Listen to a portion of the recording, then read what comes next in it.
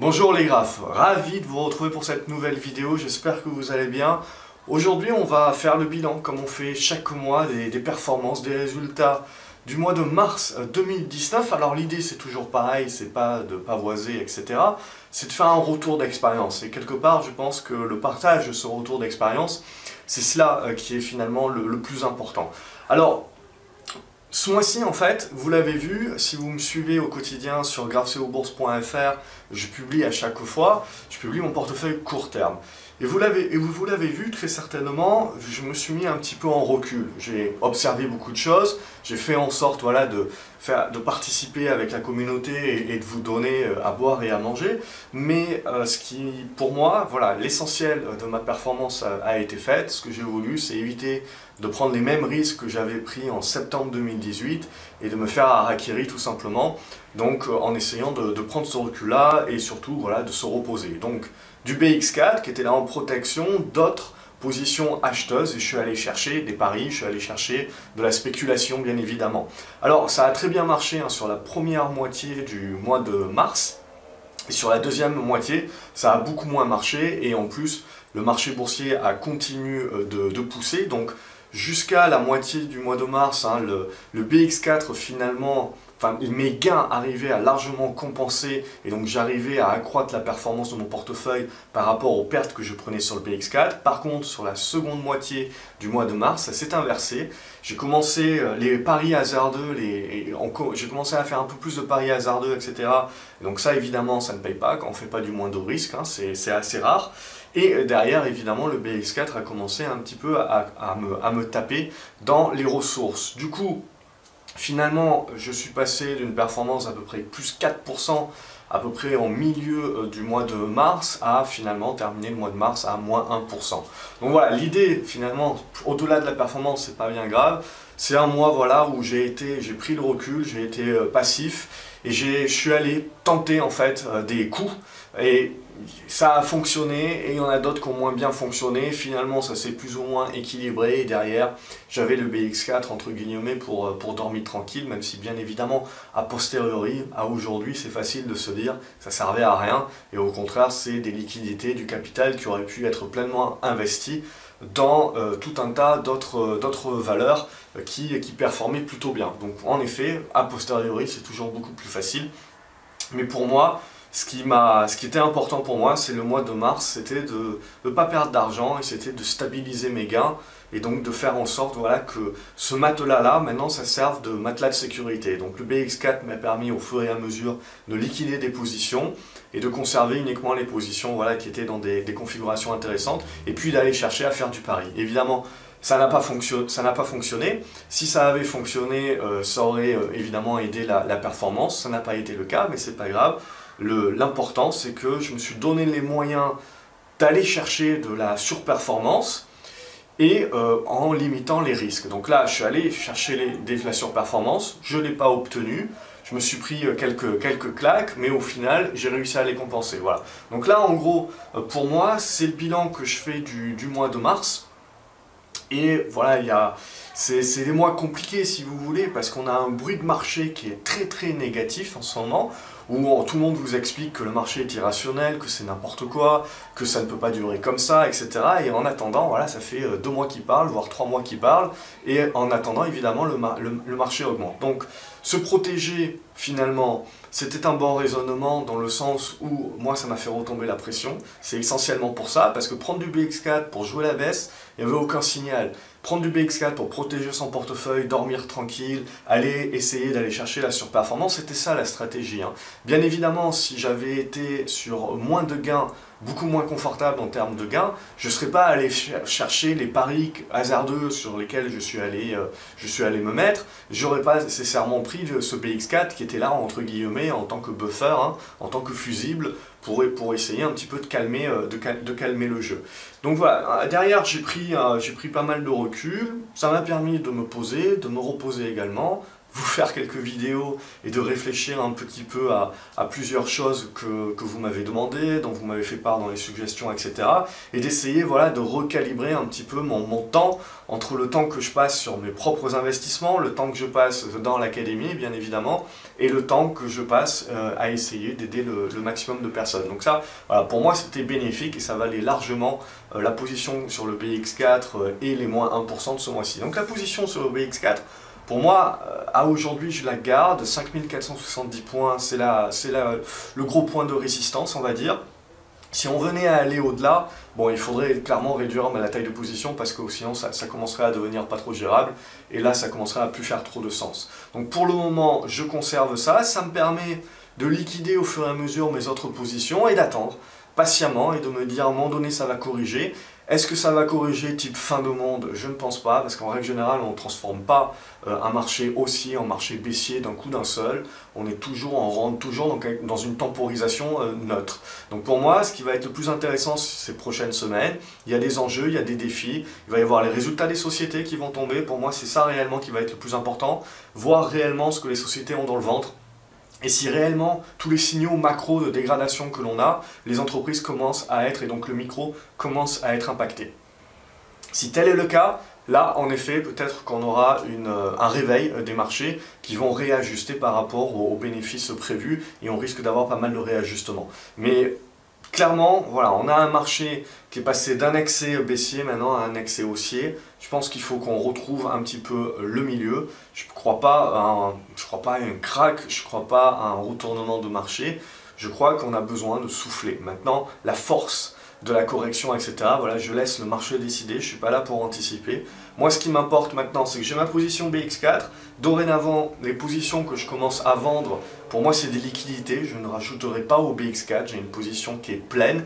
Et mon but, en fait, tout simplement, c'est que le marché, dans sa correction, puisse me permettre de sortir de mon assurance, puisque j'ai traité le BX4 non pas comme un, outil pour euh, jouer la baisse du CAC 40, mais comme un outil, comme une assurance. Donc ça m'a coûté de l'argent, mais ça m'a permis de dormir sur mes deux oreilles et d'aller chercher la surperformance, notamment sur le mois de février, un peu moins sur le mois de mars, mais ça m'a permis d'être tranquille. Et euh, derrière, sur euh, ce mois d'avril, pour moi, l'objectif, c'est de profiter d'une correction éventuelle pour petit à petit sortir de ma position et récupérer des liquidités. C'est-à-dire pas repartir en achat, mais récupérer des liquidités, temporiser et me mettre vraiment en mode observation, étude, analyse. Pour moi, c'est l'essentiel du boulot. Hein. Le maximum du temps que l'on passe et que je passe, c'est d'analyser des graphiques, de mettre en place mes plans, et après, euh, finalement, le moment où je prends le trade et le moment où je vais sortir de la position, ça c'est pouillemesque. Le, le travail a été fait en amont. Et c'est vraiment ça, finalement, la, la quintessence et ce qui je veux vous transmettre, c'est que l'essentiel de votre résultat se fait pas pendant le trade.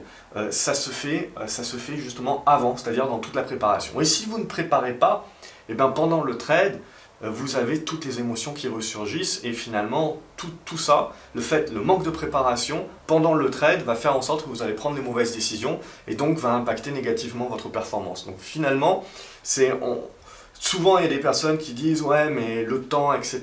C'est pas très grave le temps que vous avez, que vous en ayez beaucoup ou pas beaucoup. Voilà, le but c'est d'adapter justement le temps que vous avez à l'analyse, à votre profil et à votre type d'investissement. Et derrière justement ce qui est le, plus important, c'est derrière de s'entourer d'une communauté, et c'est le but, parce que comme ça, il y a plusieurs paires d'yeux, euh, il y a l'académie, et ça fait gagner énormément de temps, et c'est clairement euh, le but, et, je vois moi-même à titre personnel hein, tous, les, atouts également que ça peut avoir et contre la, solitude du trader, entre guillemets. Donc voilà, ensuite, je vous ai mis, euh, je vous mettrai une, vignette et, et, un lien certainement dans les commentaires vers, euh, vers cet article où vous pourrez voir un petit peu plus mes performances, notamment voilà ça, ça a pas mal compensé. Je vous partage uniquement mon portefeuille de court terme, le portefeuille de long terme est partagé uniquement sur l'Académie des graphes. Là aussi c'est plutôt une bonne performance euh, sur, le, sur le mois de mars, sur le premier trimestre c'est plus 9%, là je suis à peu près à plus 1% pour le début avril, mais bon ça veut rien dire, c'est juste euh, on a eu deux très bonnes séances sur, sur le début avril donc c'est normal. Donc voilà, et un portefeuille long terme où je suis à 35%, au-delà des 35% de liquidité. Essentiellement, voilà, je suis sur des valeurs défensives, du rendement, et je vais chercher également une protection. Je ne fais pas de BX4 sur mon portefeuille long terme, je me protège avec des liquidités et des minières également. Donc que ce soit des orifères, également je m'intéresse à l'argent, même si pour le moment j'en ai pas. Et euh, derrière tout ce qui va être cuivre et euh, tout ce qui peut être aussi lié à l'énergie solaire, à l'uranium, voilà, tout un tas d'articles et, de, choses également qui seront, qui seront à venir et que je partage exclusivement sur euh, l'Académie euh, des graphes. Donc voilà un petit peu, c'était ça l'idée, je regarde, bon, au niveau des performances, euh, je vous mettrai le tableau, mais bon, ça se compense, hein. j'ai fait les bons coups, j'ai fait les moins bons coups. Ce qu'on ce que, ce qu'on remarque, c'est simple, c'est qu'il y a peut-être eu un excès de confiance à un moment donné où j'ai essayé d'aller faire des coups, surtout sur le marché américain, et voilà, j'ai pas pris nécessairement du pur moindre risque, j'ai anticipé et j'ai pris des trop grosses positions. Donc forcément, j'ai euh, finalement mis un petit peu tous les arguments contre moi, les probabilités contre moi, et j'ai fini par me prendre des claques, et forcément j'avais des positions un petit peu trop grosses. Donc c'est ça un petit peu qui me met dedans ce, mois-ci. Globalement, euh, voilà, c'est c'est un petit, un petit travers, mais voilà, je me suis donné les moyens d'aller chercher de la performance. Je ne l'ai pas forcément fait euh, du mieux possible sur la seconde moitié euh, du, euh, du mois. Et du coup, forcément, j'en ai payé le prix. Donc voilà, s'il y a une petite chose à retenir là-dessus, ça, de toute façon, c'est un petit peu toujours la même chose, c'est d'essayer le moins possible, de tendre vers un optimum, on va dire, en évitant un petit peu ces paris. Des fois, ça marche, des fois ça marche pas et quand ça marche pas, il faut que les tailles de position soient un petit peu en mode garde-fou. Sinon, en effet, euh, on, casse des, on casse pas mal d'efforts et pas mal de bons trades, c'est dommage. Et on voit, hein, bon j'ai fait pas mal de spéculatifs, en même temps c'est mon portefeuille court terme spéculatif, donc c'est normal, mais sur des, sur des configurations qui étaient plutôt saines. Et là où j'ai fait mes pertes, c'était sur des choses qui étaient clairement, clairement pas, pas saines. Donc voilà, donc c'est clairement ce qu'il faut retenir ce mois-ci, je dirais faire, euh, faire moins de ça sur le mois d'avril, essayer de me sortir de mon BX4 et donc euh, finalement de le vendre au mieux pour éviter que cette assurance ne m'ait coûté un petit peu trop. Pour le moment, elle m'aura coûté 33% euh, du, du, portefeuille, du capital total. Donc voilà, si j'essaye de pouvoir m'en sortir à 1%, ça serait, ça serait plutôt pas mal. Et donc du coup, récupérer des liquidités et préparer, analyser pour, pour la suite des événements. Ça va clairement être ça, à mon avis, hein, l'enjeu de ces prochaines semaines, voire de ces prochains mois. Il y a des défis, il va y avoir des risques, il y a toujours des risques en bourse de toute manière. Hein. On ne se, on est, on se, satisfait, on se satisfait jamais du moment présent, on est toujours en train de s'inquiéter du, du, lendemain. Donc du coup également, je vous mettrai une vignette et un lien vers une vidéo euh, que j'ai faite notamment hier et un article sur voilà l'inversion de la courbe des taux, mais au-delà de l'inversion de la courbe des taux, c'est tout ce qu'on peut vous servir pour vous expliquer que ça va mal et comment du coup cette macro peut vous impacter vous, euh, dans vos décisions euh, micro. Et quelque part, on l'a vu, notamment ces trois mois de rallye que tout le monde, tous les gens qui l'ont loupé ou qui sont contre le marché disent que c'est n'importe quoi. Mais quelque part, ces trois mois de, ces trois mois de, rallye euh, haussier, ils sont liés à la micro. Ils ne sont pas liés justement à la macro, ou bien évidemment, d'une manière faible. Donc c'est toujours la même chose, c'est de savoir est-ce que la macro, là maintenant, elle va finir par impacter négativement la micro et donc les entreprises? On va le savoir avec les résultats. Donc c'est ça qui sera attendu au tournant. Et donc personnellement, après, moi, je veux me, je veux me protéger de ça. Après, il y aura certainement des bons résultats. Il y aura les dividendes hein, qui vont tomber à partir de fin avril euh, sur mois de mai et jusqu'en juin pour certaines boîtes. Donc ça aussi, ça peut pousser des gens à conserver les actions quand même pour toucher les dividendes, surtout que euh, ça, va représenter des rendements qui sont quand même pas mal intéressants sur pas mal de, valeurs. Donc on peut se dire que les gros poissons vont éviter de larguer leur titre avant de toucher le dividende quand même. Et derrière, les fusions-acquisitions qui euh, devraient certainement pouvoir reprendre. À court terme, certainement de la volatilité, de la consolidation, il faut reprendre le souffle. Les buybacks ne sont pas autorisés pendant la période justement d'annonce des résultats. Donc sur ces, ces deux, trois prochaines semaines, il n'y aura pas de buyback pour, pour supporter ça. Mais voilà, toujours l'idée c'est la même, c'est pour moi les résultats micro qui seront attendus au tournant pour voir si réellement la macro est en train d'impacter négativement la micro et auquel cas, oui, euh, il faudra être protégé et il faudra avoir quelques liquidités pour voir venir et donc préparer ses plans. Donc euh, voilà euh, pour ce que j'avais à dire aujourd'hui sur cette revue de, portefeuille et de résultats sur le mois de mars. N'hésitez pas dans les commentaires à faire votre propre revue, à me dire ce que vous en pensez et à dire ce que vous prenez et que vous comptez améliorer pour le mois prochain également. C'est ça aussi le but de ces vidéos-là, c'est que ça vous pousse un petit peu à vous motiver. Hein. Vous montrer également que c'est euh, pas tout blanc ou pas tout noir, hein. euh, peu importe votre expérience et vos connaissances. On, fait, on, revient tous euh, à nos erreurs, etc. voilà, le but c'est d'avoir des garde-fous, d'avoir les tailles de position bien gérées, et de continuer. Le, le but, hein, c'est pas d'essayer de faire un coup et de devenir riche à un coup, ça, bien évidemment, on finit ruiné. Donc, voilà un petit peu l'idée. Dites-moi ce que vous en pensez dans les commentaires, je me ferai une joie de, de vous répondre et de discuter avec vous. Et je vous dis donc à la prochaine vidéo. N'oubliez pas de vous abonner. Excellente journée à vous les graves. Salut